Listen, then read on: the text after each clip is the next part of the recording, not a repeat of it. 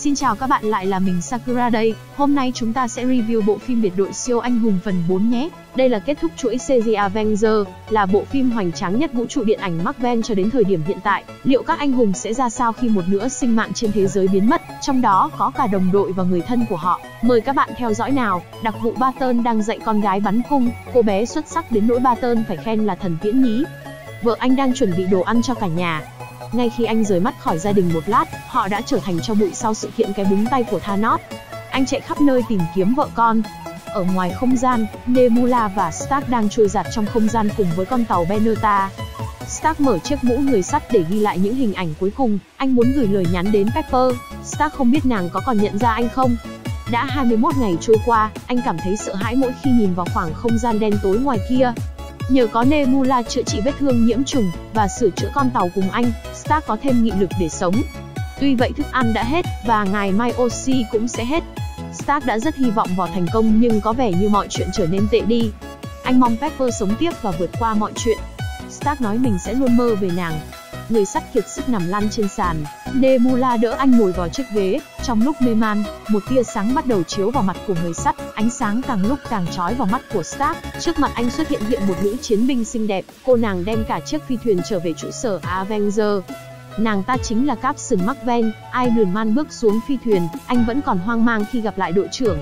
Pepper cảm động ôm chầm lấy Stark, Rocket nắm lấy tay Nebula, buồn bã vì những đồng đội đã mất, chính phủ trên toàn thế giới và các cơ quan đang điều tra dân số sau vụ Thanos, chỉ huy Fury cũng là một trong những người biến mất. Stark hỏi tại sao Thor lại ngồi một mình, Thỏ con nói bởi vì anh ta thất bại nên rất cay cú. Stark đã tưởng rằng chú Thỏ là gấu bông. Đội trưởng đã dùng mọi cách để tìm Thanos nhưng vẫn không có kết quả sát cảm thấy bức xúc với đội trưởng, lúc cần thiết nhất trong quá khứ, lại không có đội trưởng, anh sẽ không cho biết bất cứ manh mối, không một sự tin tưởng gì cả và mắng Roger là đồ dối trá.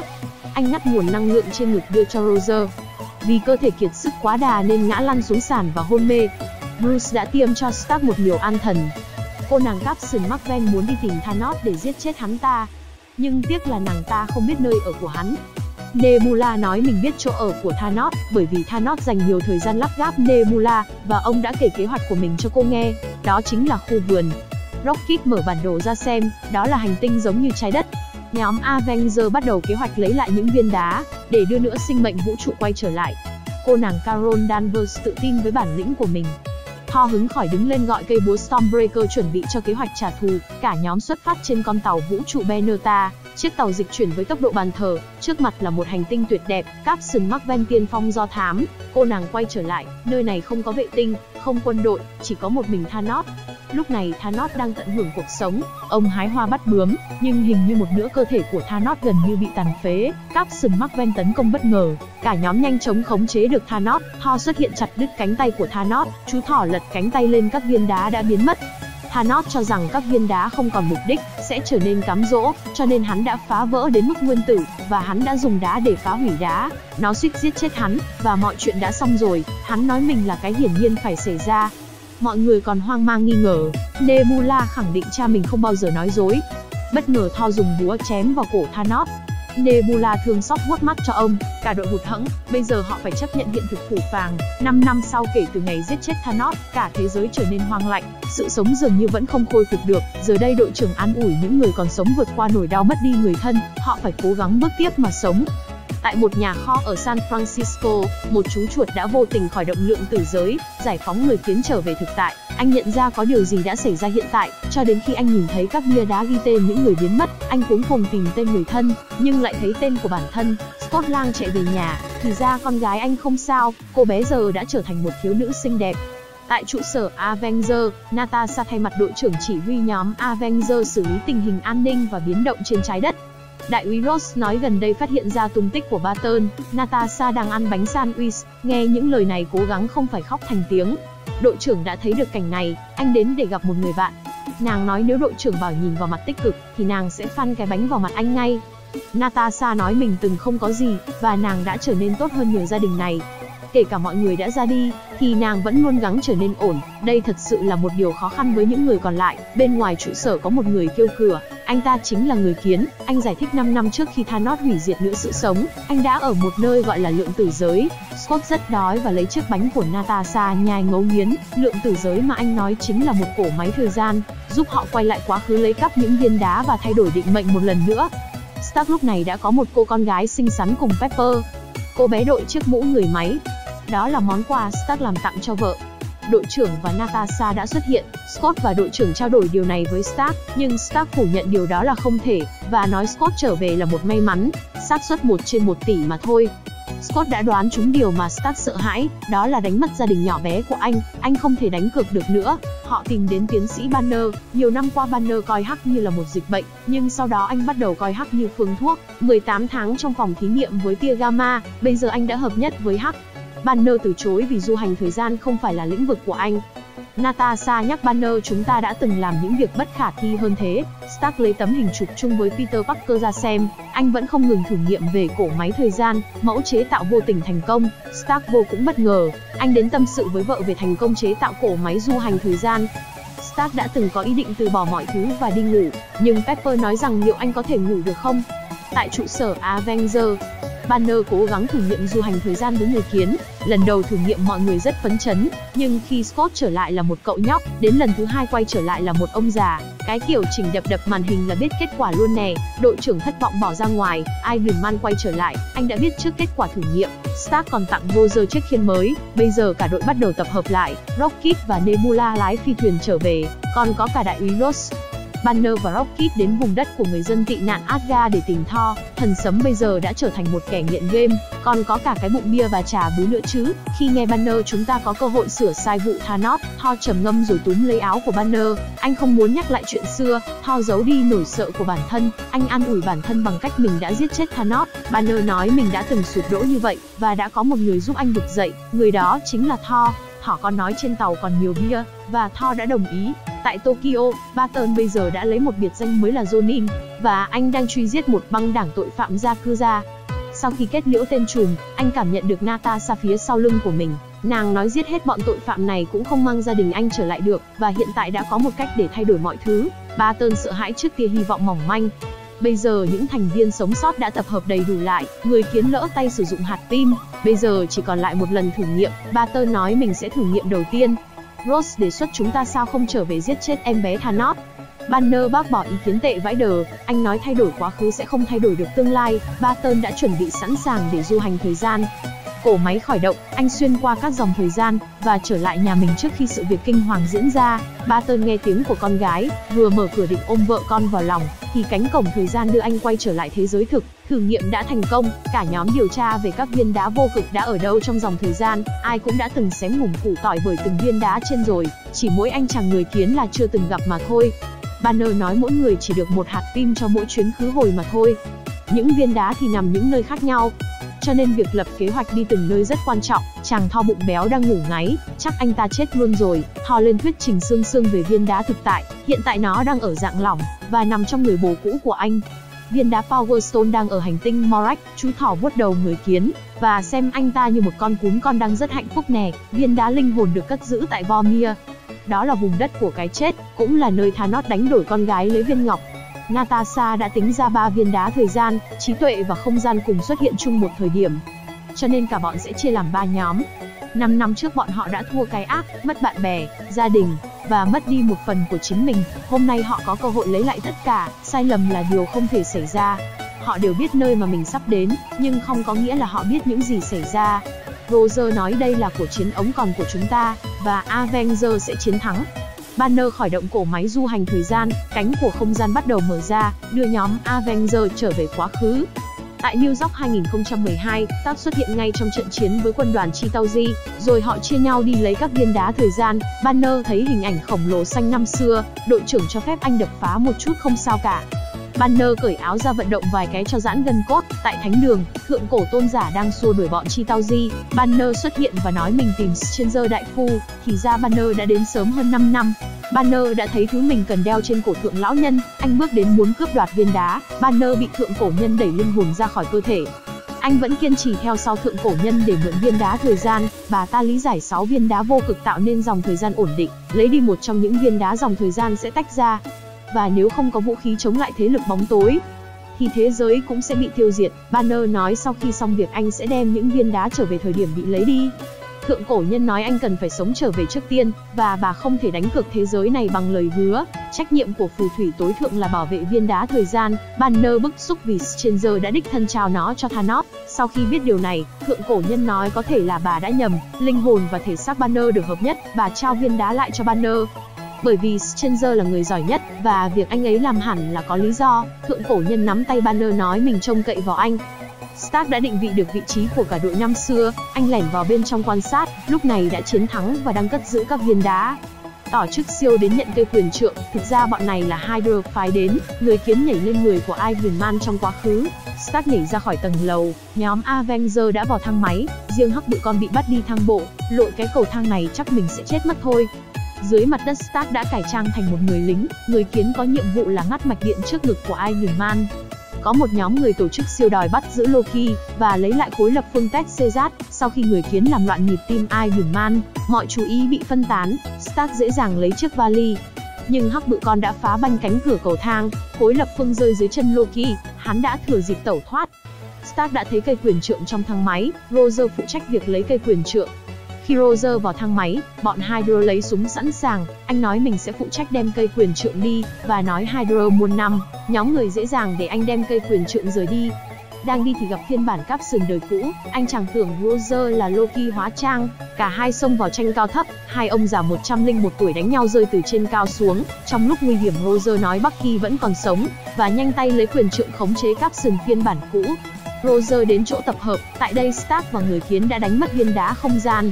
Stark đã nhớ lại ở thời điểm 1970 New Jersey vẫn còn viên đá và các hạt tim.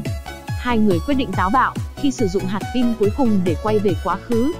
Tại trại Ly 2, cả hai cải trang đi lấy phiên bản cũ của khối cách Cezat và thêm hạt tim để quay về hiện tại. Sau khi Stark lấy được khối lập phương, anh vô tình gặp lại ba của mình tiến sĩ Howard Stark, lúc bấy giờ ông đang đợi đứa con chào đời. Cuộc gặp gỡ này giúp Stark hiểu được tấm lòng của bố mình, và anh đã tận dụng cơ hội để gián tiếp cảm ơn ông. Trong khi đó Roger đánh cắp một số hạt pin từ phòng thí nghiệm của Hank Pym, sau đó anh nhìn qua cửa sổ thấy Peggy Carter, người yêu của anh năm xưa, sau một khoảng khắc trầm tư, Roger lặng lẽ rời đi, gặp nhau bên ngoài.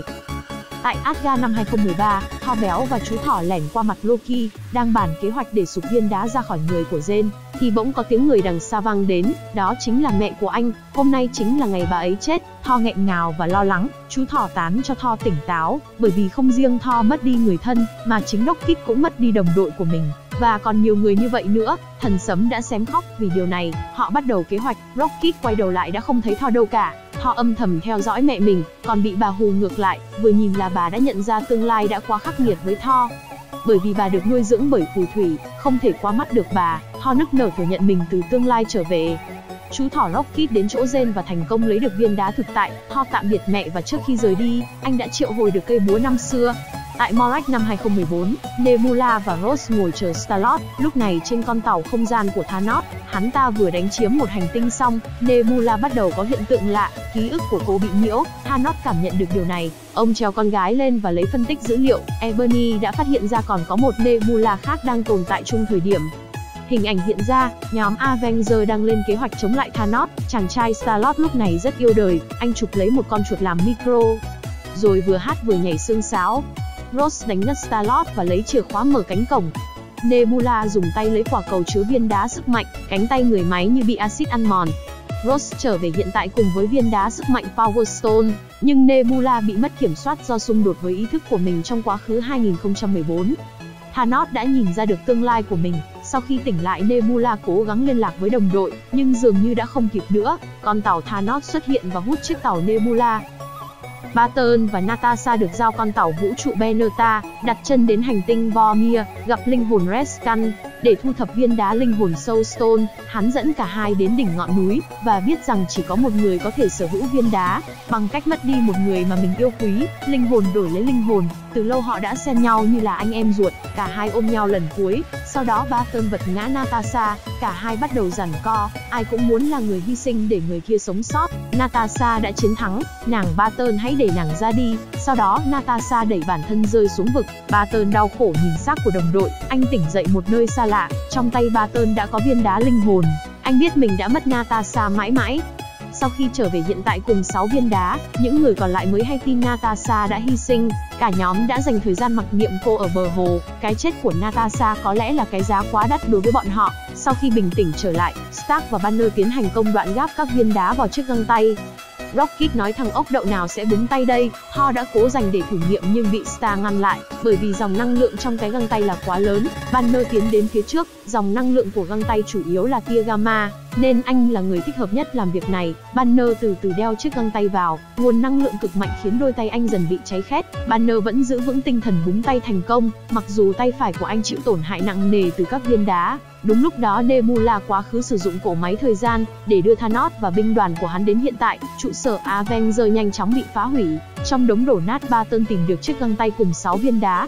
Nebula hiện tại thuyết phục Gamora quá khứ chống lại Thanos. Barton đã cắt đuôi được đám quái vật. Nebula quá khứ lại lấy chiếc găng tay và cô ta đã bị Gamora và Nebula hiện tại ngăn cản. Nebula tiêu diệt bản thể quá khứ của mình vì cô ta quá cứng đầu. Biệt đội siêu anh hùng hiện tại chỉ có mặt ba người mạnh nhất, đội trưởng, Thor và Iron Man, số còn lại bị mắc kẹt dưới đống đổ nát, Thor gọi hai cây búa sấm sét trở lại. Thanos giờ đây đã đổi ý, loại bỏ phân nữa vũ trụ thì số còn lại sẽ vươn lên chiến đấu, hắn sẽ tiêu diệt vũ trụ này, và sau đó sử dụng các viên đá để tạo ra vũ trụ mới, không một chút tàn dư của cái cũ. Cả ba anh hùng hợp sức tấn công Thanos, Thor dùng cả hai cây búa tung sấm sét vào bộ giáp của Iron Man, tuy nhiên Thanos quá mạnh, hắn lấy Iron Man ra đỡ cây búa của Thor. Thor lần này sử dụng cây búa Stormbreaker nhưng vẫn không phải đối thủ của Thanos. Trong lúc nguy hiểm, đội trưởng đã sử dụng chiếc búa thần sấm giải vây cho Thor. Roger có khả năng kết hợp hai thứ vũ khí một cách nhuần nhuyễn. Thanos không hổ danh là chiến thần, ông chịu được tia sét của cây búa như gãi ngứa. Hắn ta dùng thanh đao tấn công lại Roger, chiếc khiên của đội trưởng đã không chịu nổi lực công kích này. Thanos nói bao năm chinh chiến của hắn ta, chưa bao giờ là một mình cả. Sau đó từ phi thuyền, binh đoàn của Thanos dần xuất hiện, lần này thì âm mưu tiêu diệt cả hành tinh mới chính thức bắt đầu. Đội trưởng buộc chặt chiếc khiên sẵn sàng đón địch, tưởng chừng bản thân sẽ cân hết tim anh Not. Roger nghe tiếng những đồng đội mất tích sau lưng, quay lại thì thấy cánh cổng thời gian xuất hiện, chiến binh báo đen. Cùng những người đồng đội đã mất tích quay trở lại, vô số các cánh cổng thời gian được mở ra. Stranger xuất hiện, anh tập hợp các phù thủy trở lại, không những vậy còn có đội quân Wakanda, Asgard, Ravigers, gồm tất cả những người sống sót và đã được hồi sinh, cộng thêm chàng người kiến khổng lồ, và các anh hùng được giải cứu. Khí thế của họ lúc này như nước lũ tràn về, thật không gì cản nổi. Roger nói Avenger, tập hợp, tất cả đồng loạt tấn công, Thanos cũng ra lệnh đại quân tiến công. Hai bên sát lá cà, Thor đổi cây búa nhỏ cho đội trưởng cầm. Bên này Peter Parker đã gặp lại Iron Man, Stark ôm lấy chú nhện con, trong lúc chiến đấu Star-Lord được Gamora của quá khứ giúp đỡ. Anh lấy tay sờ lên mặt nàng và từ đó họa mi không còn hót nữa. Đội trưởng hỏi có ai thấy chiếc xe màu nâu xấu xí đâu không? Hai người kiến bay đến chiếc xe khởi động lại cổ máy. Stark hỏi Stranger vậy cơ hội thắng một trong 14 triệu là gì vậy? Stranger bảo Stark nếu nói điều đó sẽ không xảy ra.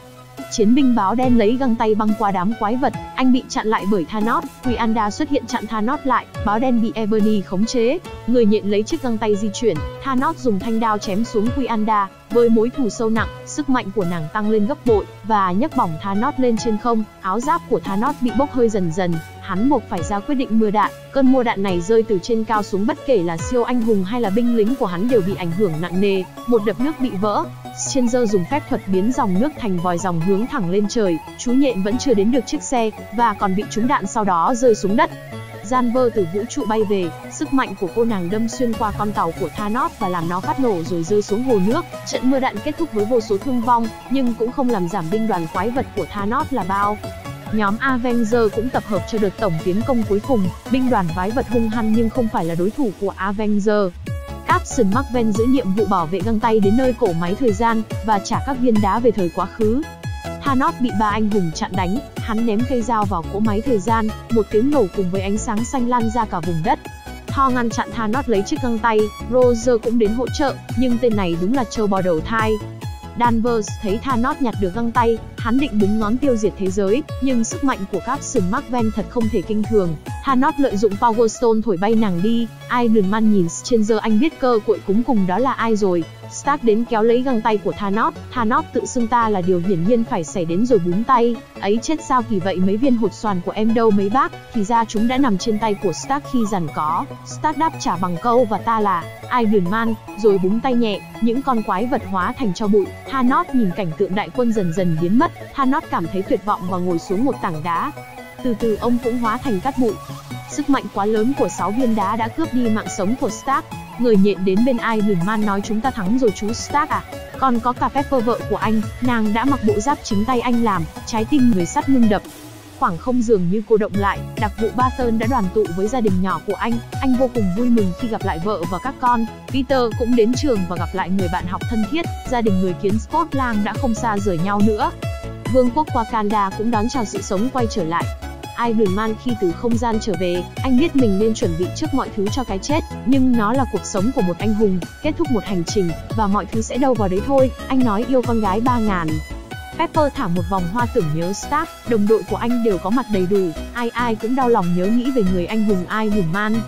Sau đám tang của Stark, Thor nhường ngai vàng của Asgard lại cho Valkyrie và gia nhập nhóm vệ binh dãi ngân hà. Star-Lord bắt đầu đi tìm Gamora, Roger đem trả các viên đá và cây búa thần sấm về đúng với vị trí của chúng trong quá khứ, rồi quyết định sống nốt những năm tháng mà anh đã bỏ lỡ sau khi bị đóng băng năm 1945. Ở hiện tại, Roger này đã già, quay về trao chiếc khiên từ quá khứ của mình đến cho Sam Wilson. Kết thúc phim là cảnh hạnh phúc của Roger khi được khiêu vũ cùng nhau với vợ đã cưới Peggy Carter rồi họ hôn nhau. Đến đây là hết phim rồi, cuộc sống của một siêu anh hùng là thế đấy, hy sinh cũng xem như là kết thúc một cuộc hành trình. Nhưng những gì đem lại đó là đổi lấy được cuộc sống hạnh phúc cho mọi người. Mọi người trong chúng ta đều là những siêu anh hùng khiến đất nước trở nên giàu đẹp hơn. Cảm ơn các bạn đã ủng hộ Sakura. Hãy đăng ký để xem các review sớm nhất nhé. Hẹn gặp lại các bạn thân yêu.